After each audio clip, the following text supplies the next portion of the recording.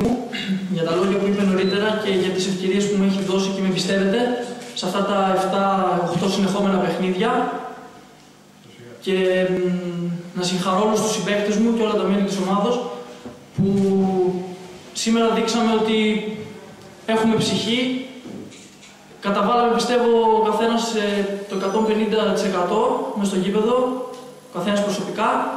Παίξαμε μια ομάδα που στην πραγματικότητα είναι πρώτη, έτσι και πιο πριν ε, δήλωναν ότι θα έρθουν εδώ για να πάρουν τη διαφορά τεσσάρων πόντων από τον δεύτερο χαλαρά. Τα βρήκαμε σκούρα, ατυχήσαμε προσωπικά, κάναμε κάποια προσωπικά αλλά δεχτήκαμε δύο τέρματα τα οποία δεν μπορούσαμε να μην έχουμε δεχτεί στις λεπτομέρειες. Είχαμε το δοκάρι του Μπεγλέρα μετά στο 2-2 που θα μπορούσαμε να είχαμε κάνει το 3-2 για να πάρουμε το παιχνίδι. Πιστεύω από το πρώτο μέχρι το 90 λεπτό υπερήχαμε το αντιπάλου και όπως σας είπα, στην πραγματικότητα αυτή η ομάδα είναι πρώτη, Εμείς είμαστε δέκατη ενδέκατη.